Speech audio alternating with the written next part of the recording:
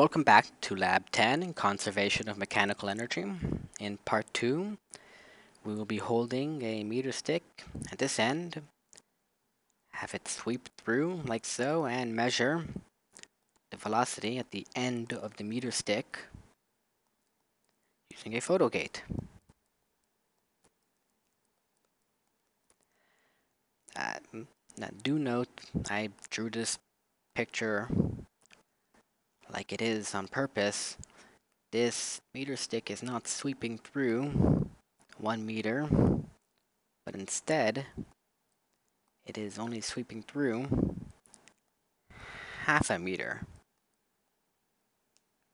So no, we aren't going to measure the initial and final height. We are simply choosing it to be so. So be sure you get as close to the end as possible and you hold the meter stick level when when setting it up.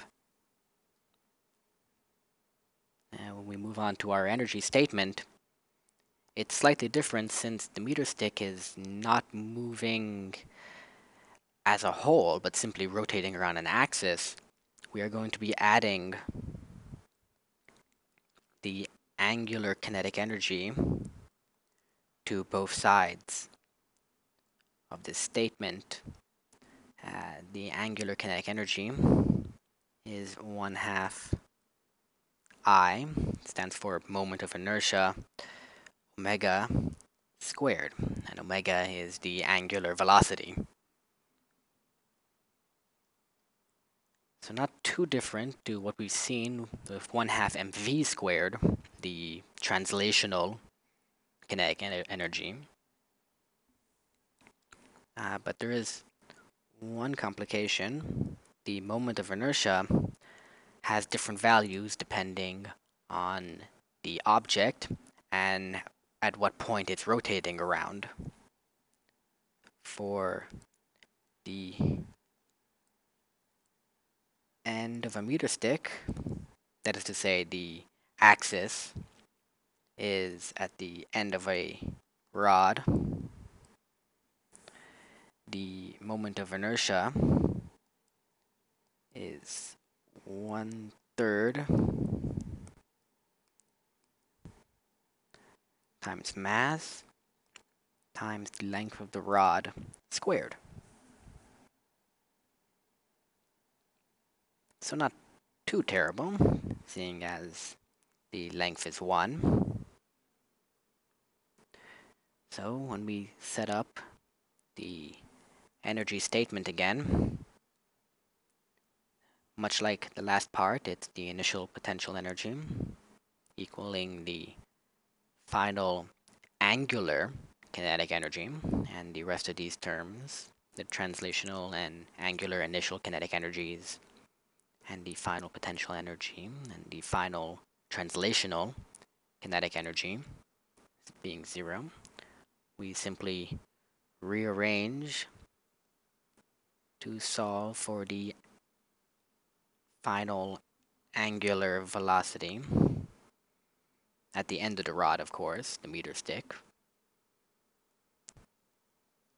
And the conservation statement rearranges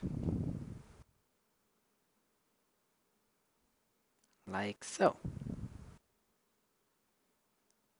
And if it's not clear, I'll rewrite this there.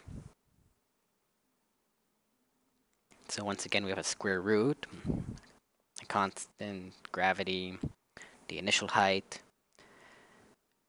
It's very similar. Uh, be sure you compare what you predict with other groups as once again, we are expecting the predicted values for the velocity at the end of the stick to be very close to the actual speed of the meter stick, the velocity I should say. And if you were quick, you, you caught what I said. We are predicting the velocity at the end of the meter stick, and this is the angular velocity.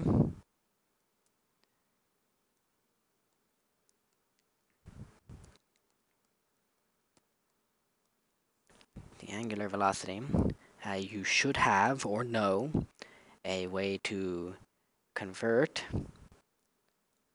our predicted angular velocity to just plain old velocity at the end of the meter stick and compare to your actual value. So now that we have our prediction out of the way, we can find the uncertainty in our measurements. And oh, I can keep going all I want. There's nothing there. Yeah, that's right.